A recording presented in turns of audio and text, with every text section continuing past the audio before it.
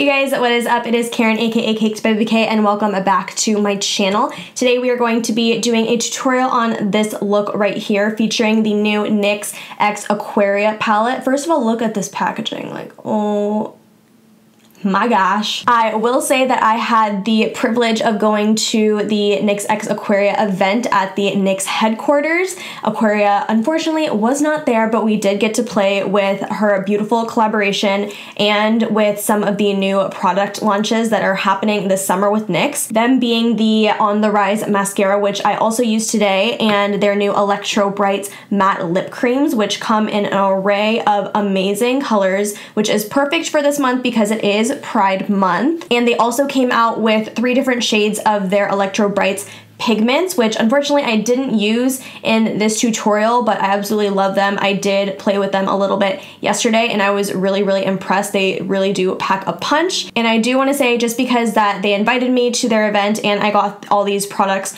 for free, that in no way sways my opinion on these products. You know, I always give it to you guys straight up. I will say before we get into the tutorial that this palette requires a tacky base.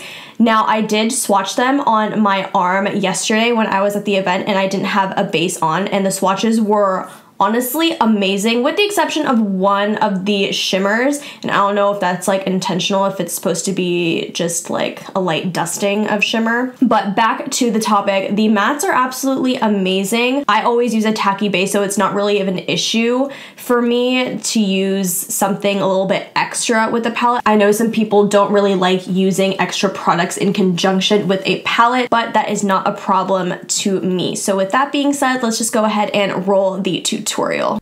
We're starting out with the NYX Jumbo Eye Pencil in the shade Milk. Y'all know, if you've been watching YouTube for like ever, this is an OG move, okay?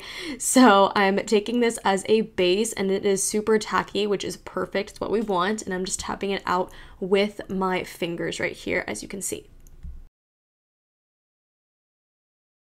So I'm taking this red shade from the palette, which is a really gorgeous fiery red, and I'm taking this on a NYX 15 brush, which is a little detail blending brush, and we're just going to pack the red into our crease. You can kind of see that the shadow's thinning out a little bit towards the inner corner of the eye, so I just dipped back into the palette and we're just packing more pigment into that area.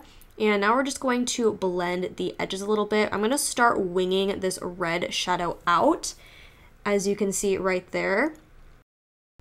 Adding a little bit more pigment now so I can have more product to work with when I blend it all the way out and smoke it out. So as you can see, I'm just doing that really lightly and now I'm going in with that gorgeous yellow shade on a Morphe M514 brush. And we're just going to diffuse those red edges out and blend them into our skin a little bit more so there's no lines of demarcation. And this is a really light shade, so I'm going in pretty generously with the shadow. Boom, baby, that is an intense black shadow. I'm packing it in and I'm just blending it out again with my Morphe M514 brush. Again, just really diffusing the edges. I use the NYX number 15 brush to pack it on, and now we're using this one to blend it out. Pack it on and blend it out, people. So again, just blend those edges. I'm using a really, really soft hand, and I'm sorry that I keep going all the way down to the bottom of this camera shot, but we're, we're making it work. Again, going in with that NYX 15 brush and just diffusing those edges a little, little, little bit more.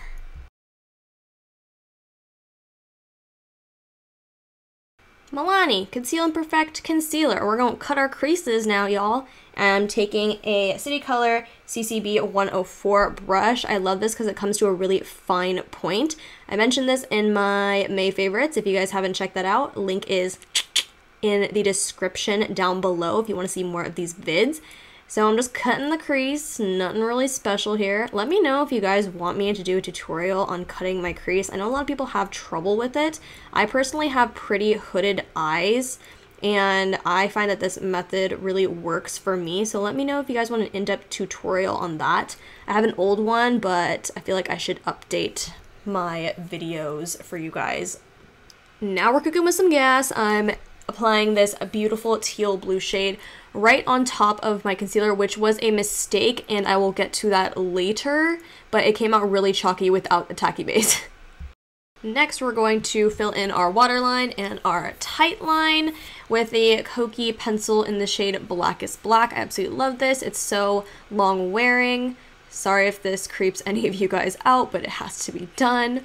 Now I'm going to pack on some black shadow and smoke that out and make it look a little bit more natural with the NYX number 10 brush.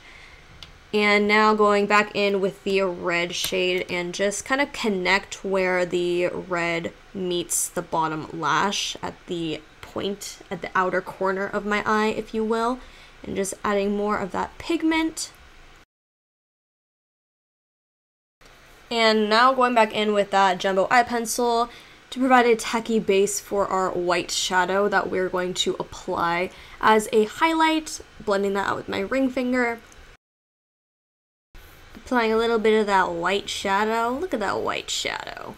And then we're blending that out and also applying a little bit of the Anastasia Beverly Hills So Hollywood highlight because that's the one I'm wearing on my face as well. I'm to make it look a little bit cohesive. And now it's mascara time, everybody and we're going to just apply this you know how it goes yada yada yada I will have to say I do use the NYX Worth the Hype mascara religiously like every day and this is a lot lighter than that which I'm a huge fan of Alright, now we are back to this. I unfortunately forgot to apply a base over my concealer, so I'm trying to go in and fix it with the NYX eye pencil, and we're just going to pack more of that blue shadow on.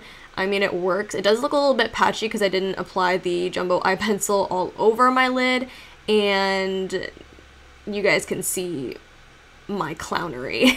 but as you can tell from the other eye, it does blend out really, really well. All right, you guys, so that is it for this tutorial. Thank you again to NYX so much for inviting me to my very first beauty event. I honestly was so nervous, and if you guys follow me on my Instagram, you kind of got like the whole gist of what I was feeling, but if you guys don't follow me, make sure you do. I am way more frequent on there than I am here, and also let me know if you guys like this new setup. I'm trying something something a little bit different and I want to try something a little bit more you know, far away. So let me know your thoughts on that. Let me know if you guys are going to be picking up this palette or any of the new launches from NYX this summer. And with that being said, don't forget to like, comment, subscribe, thumbs up, all that good good, and I'll see you guys in my next one. Bye.